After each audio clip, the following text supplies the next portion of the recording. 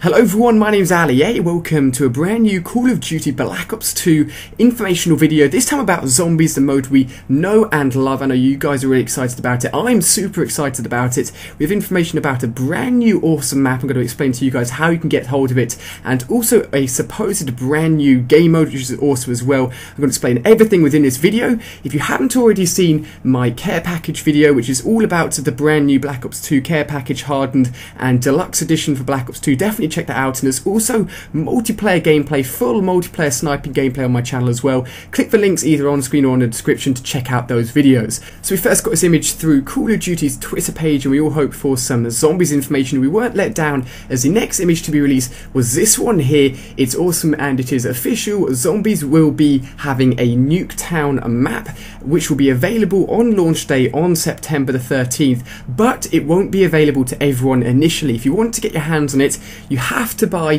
the hardened edition or you have to buy the prestige or care package edition of Black Ops 2. That is currently the only way you can get this exclusive map. So either you can go ahead and do that by either the hardened or care package edition or you can wait till release date. I will have gameplay of this map up on my channel on release date and you can decide whether or not you think it's worth buying the extra priced uh, version of Black Ops 2 to get this map. Either way you can do that. I'm assuming this map will be available to everyone at some point after the release of Black Ops 2, but I can't confirm that and we can't rely on that information. If you want to get this map, I would go ahead and buy the hardened edition. If you haven't seen my other video talking about that, that's the edition of Black Ops 2 I recommend you get because of all of the awesome bonus features you get with that edition of the game. Now, noticing on the board here that it says population 1, I'm assuming that is the actual player who isn't a zombie. Does this mean that this map will only be available to play for one player, it won't be available in four player or the new 4 versus 4 game mode. I'm not sure, hopefully not. Of course we all know that the Nuketown map is very small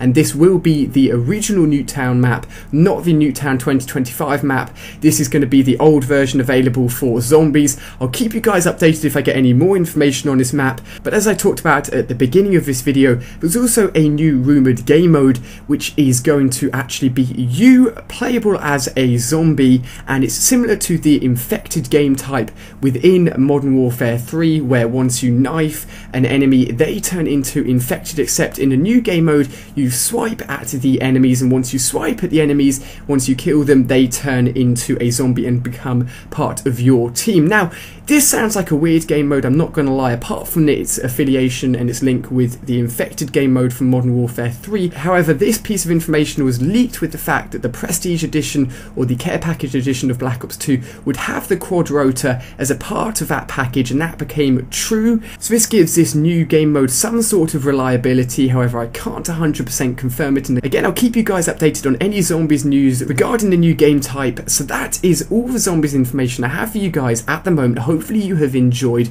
Let me know if you'll be picking up the hardened edition or prestige edition just so you can get hold of this new Nuketown zombies map. Do you like the fact that Nuketown's going to be a zombies map or not? So thank you very much for watching guys. There's been lots of Black Ops 2 information recently. I've put up all of the kill streaks, all of the guns, and all of the perks, and multiplayer gameplay, and of course the care package and hardened edition for Black Ops 2 if you haven't seen those videos already. Hit the like button if you've enjoyed, I really appreciate it when you do that, and subscribe if you're brand new to my channel, so thank you very much for watching guys, I hope you have enjoyed, and I'll see you on my next video.